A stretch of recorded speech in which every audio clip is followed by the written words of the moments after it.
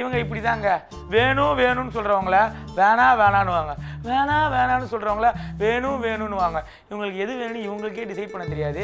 ஆனால் உங்களுக்கு என்ன வேணுன்றதை நீங்களே டிசைட் பண்ணிக்கோங்க. அந்த கேப்க்கு அப்புறம் நாங்கள் ரெண்டு பேரும் பேசிக்கவே இல்லை.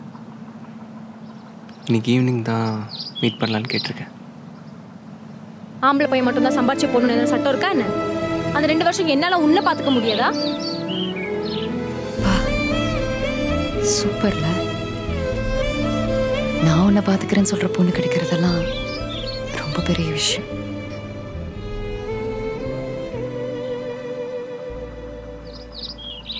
எனக்கும் ஒரு லவ் இருந்துச்சு. சின்ன ஈகோ இருக்கிறனால எங்க ரிலேஷன்ஷிப் எண்ட் ஆயிடுச்சு. நான் தான் அவனை சமாதானமே படுத்திருக்கணும். பட் நான் தான் அந்த சண்டையே போட்டிருக்கேன்.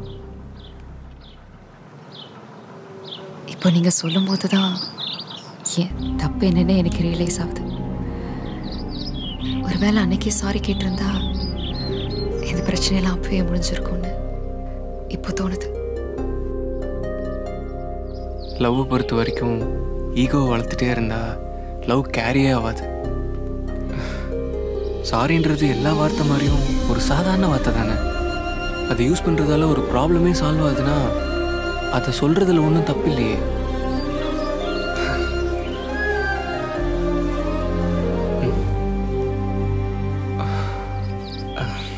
சரி நான் அப்படியே கிளம்புறேன். அவன் எனக்காக வெயிட் பண்ணிட்டு இருப்பா பாய் மதி. ஆ? ஆல் தி பெஸ்ட் தேங்க்ஸ்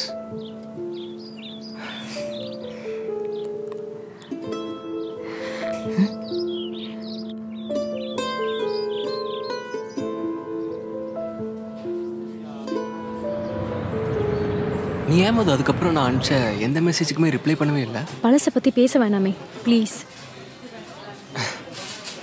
நானும் அதே தான் சொல்கிறேன் இதுக்கு முன்னாடி நடந்த பழசெல்லாம் விட்டுறலாம். நம்ம கல்யாணம் பண்ணிக்கலாம். ம்? நான் எதுக்காக கல்யாணம் வேணான்னு அப்போ சொன்னனோ அது எல்லாமே இப்போ என்கிட்ட இருக்கு. நானும் உன்கிட்ட ஒரு விஷயம் பேசணும். அதான் நீ மீட் பண்ணலான்னு கேட்ட உடனே சரின்னு சொன்னேன். நம்ம சண்டை போட்டு போன நாலாவது நாள் எனக்கு என்கேஜ்மெண்ட் ஆயிடுச்சு.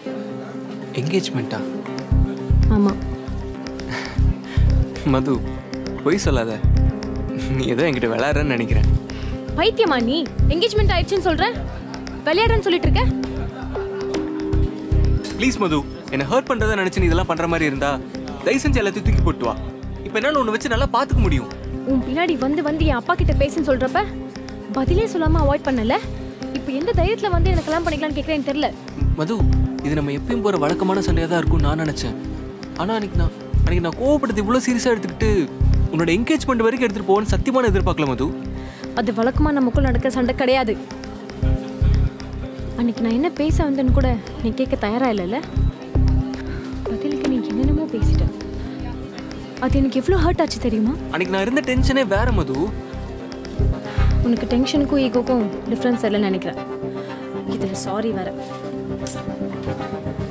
நான் பேசினது நீ ஈகோ நினச்சினா அது பேர் ஈகோ இல்லை இன்செக்யூரிட்டி பயம். நீ உங்கள் வீட்டில் இருக்க வசதி சந்தோஷத்தை என்னால் கொடுக்க முடியாமல் போயிருமான்ற பயம்.